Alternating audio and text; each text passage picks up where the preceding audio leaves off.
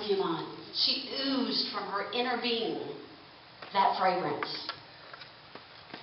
If we want to live in God's presence, we must make repentance a part of our daily and moment by moment routine. Well, how do we do that? We're so busy, right? Well, we all know when we're doing something we shouldn't do.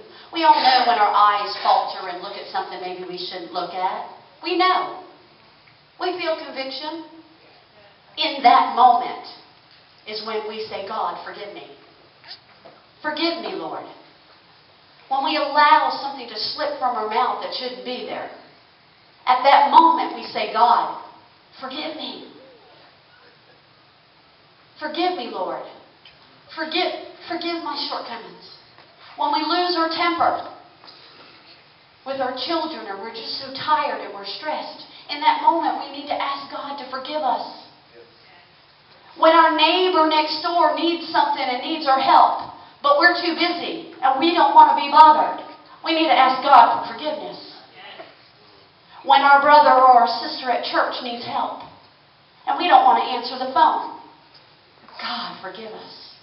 There are so many things in our daily routine that we do, moment to moment, that we need to ask God to forgive us. It's a daily cleansing, something that we need to be in a routine of doing. See, we don't just do it before we step out the door on Sunday morning. It's something that we need to be doing every day, moment by moment, in order to be in the presence of the King. It's something we should breathe in and pray it out. Rub it in deep into our being and to remove the impurities and soften our heart and attitudes. And ingest it to cleanse our inward parts. The role of myrrh in the Old Testament sacrifices and in Jesus' life, the death and the burial paints a vivid picture of killing the old man, removing the blemishes, purging the inner recesses, and turning away from old practices, habits, mindsets, and limitations. It speaks of change, cleansing, sanctification, and preparation for the appearance before the King of Kings. Most people don't like change. Ugh, it's uncomfortable. I like the way things are going. I like the way they're moving. Well, I praise God that I I sit underneath a pastor that is not afraid of change. I thank God for that. I'm inspired by that. Not many pastors are like that. Change is good. If you want something different, you have to do something different. You cannot sit in a pew every Sunday sitting there doing nothing, expecting God to move in your life if you're not moving. We want God to move, but we don't want to move. I don't want to change. God can change it for me. No, that's not how it works. God wants us to change. He wants us to step out. He is right there. He's been waiting for us all along. But we're too stubborn. We get set in our habits. Our habits. Our habits are sin. They keep us from God. It keeps us from His presence. It keeps us we're bound by it. God wants us to step out and do something different. If you've never stood in church and you're capable, try standing. It frees you up. It makes you want to step out and dance. It makes you want to raise your hands. It makes you want to do something different. If we're not excited about what God's doing, there's something wrong. God's stirring us. He's saying, step out. Let's be different. Let's believe in what I'm doing. I had a sister a couple weeks ago say something, and it's so truthful.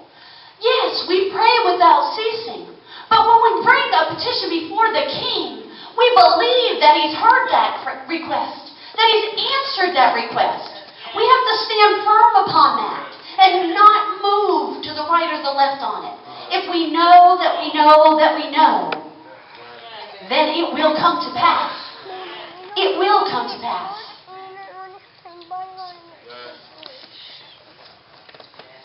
These are the habits that keep us from God. These are the things that tarnish us.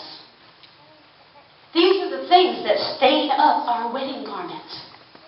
These are the things that are going to keep us from seeing our King of Kings.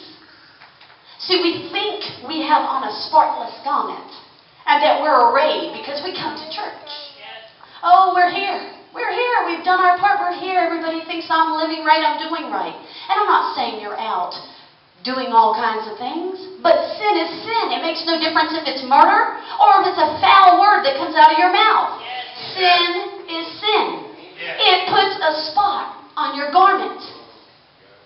We think we're arrayed in white garments, but what are we going to do when we stand before the king and we find out we have spots? What are we going to do? It's going to be too late. We need to make this a moment by moment preparation. We need to speak it out of our mouth every day, moment by moment. We think as Christians, we think as Christians, and I, I can speak this honestly for my own self. Pastor gives an altar call at the altar. And he might, he might say, well, if you're going through this particular thing, come forward. And for us as Christians, we think, well, if I go forward and I need prayer for this and I go forward for that, everybody's going to think I was doing that. You know what? God knows what you're going forward for.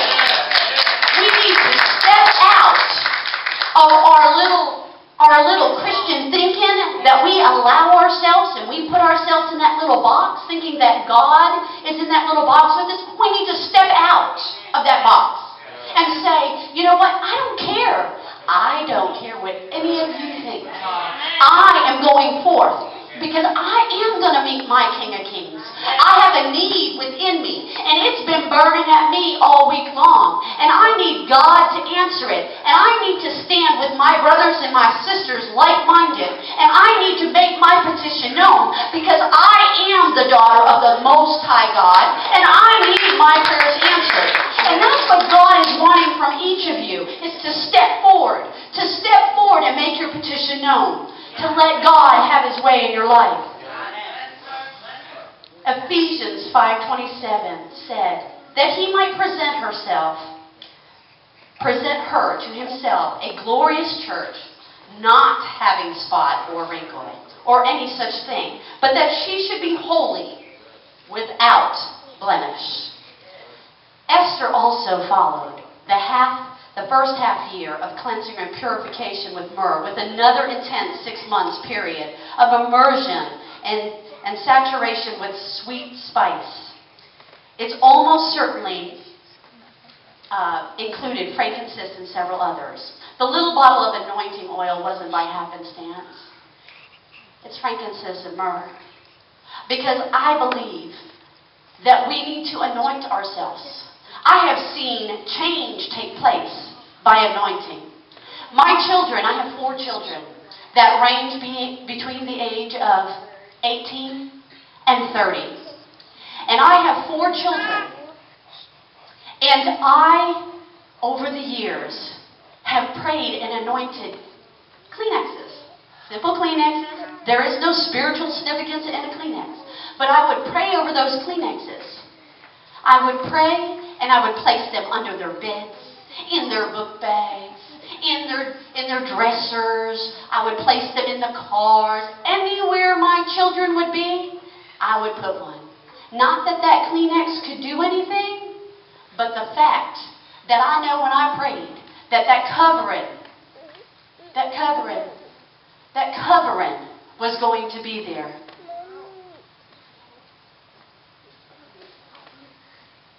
Our bride is going to sit.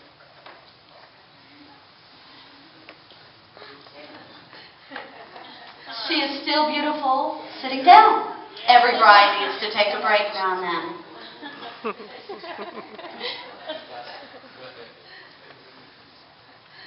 Worship covers us with the fragrance of the King. In fact, the real purpose of soaking in the oil of anointing is repentance. It is to camouflage any smell of the flesh. It is what allows the king to stand to be in the same room with us. Unlike myrrh, frankincense only releases its fragrance in the heat of fire. I don't know about you, but I can tell you about some heat in the fire.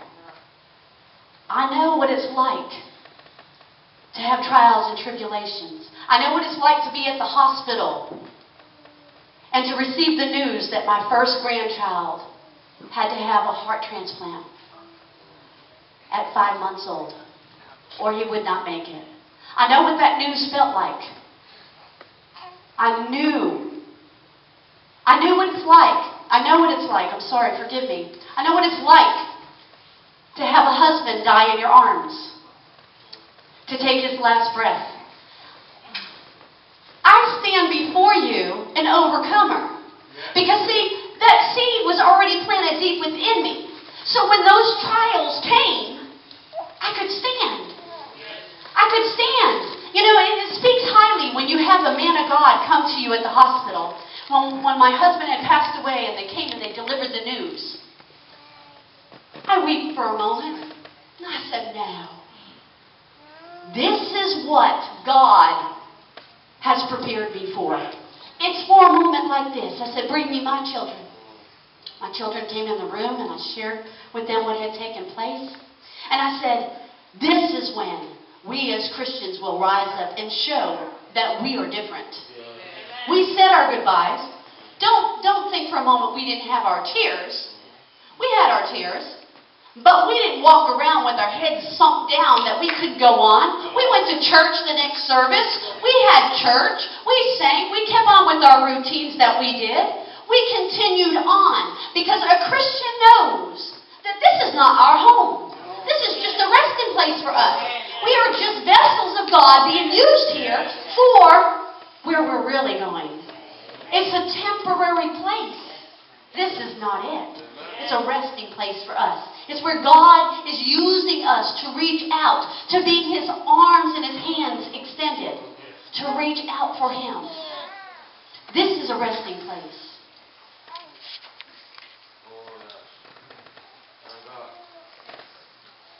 in the preparation of both the sacred anointing oil for kings and priests and for the, intense, uh, the incense burning as a sacrifice to God to the Jewish temple, some forms of worship only release their sweet fragrance to God when offered from the fires and trials of adversity.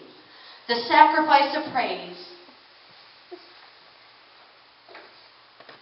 offered in times of trouble is especially sweet and pleasant to the King of Kings. This is worship from a posture of trust and faith instead of suspicion and doubt. Which leads me to Miss Chris, our elders in the church. So often our elders in the church feel left out. Well, I'm not needed. Do you not realize the elders in the church is what brought us to church. The prayers of the elders. In the Bible, it's not by mistake when it says, gather the elders together to pray and to anoint you.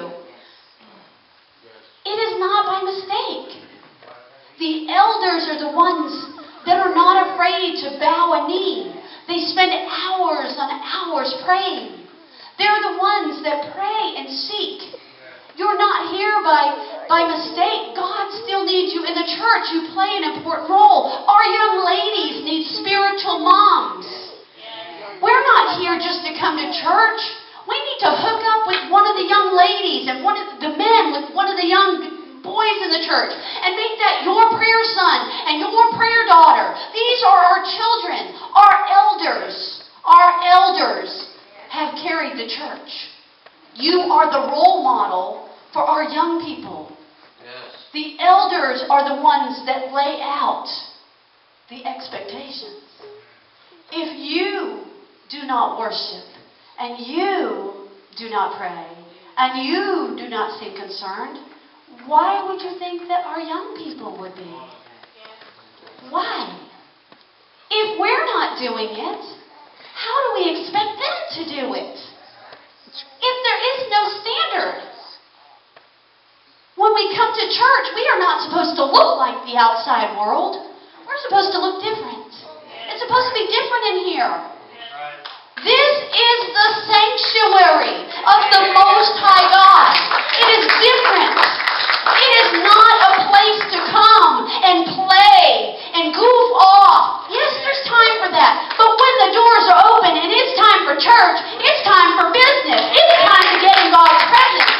And if we are not doing it as the elders, how do we expect our children to do it? But yet we're the first to scold them. How dare you? How dare you? How dare you? How dare me? stand and make judgment on our children and our youth when we are not following through with what God has put before us. How dare us? The elders are crucial. They carry us through their prayers.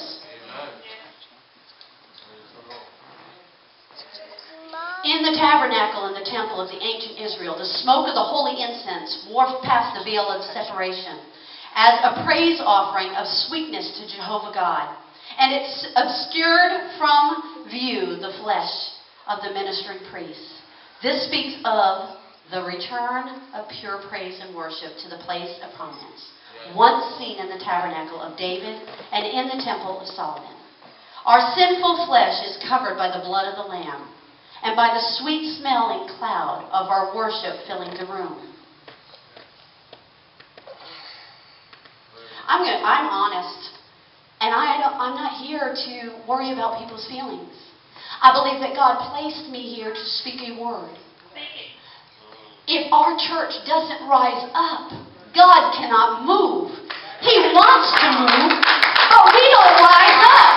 I come in, I come in week after week after week, and I am hungry for God. I am so hungry for what God wants to do because I have been to the Holy of Holies. I have been in that presence. I have smelt that fragrance, that sweet fragrance.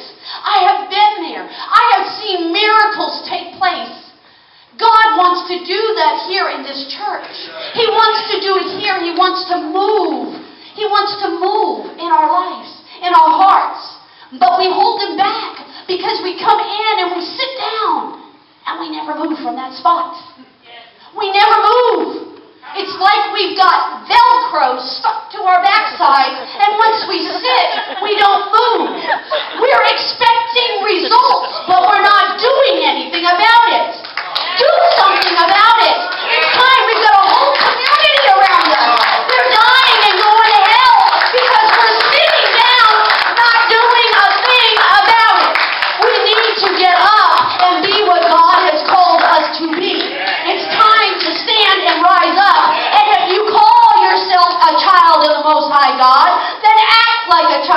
The Most High God.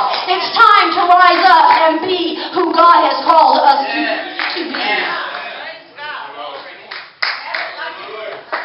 Esther began as an orphan peasant, but through her per- perseverance and preparation, her unequal beauty in ministering to the king, and her submission and intercession, she uh, orchestrated and delivered an entire nation.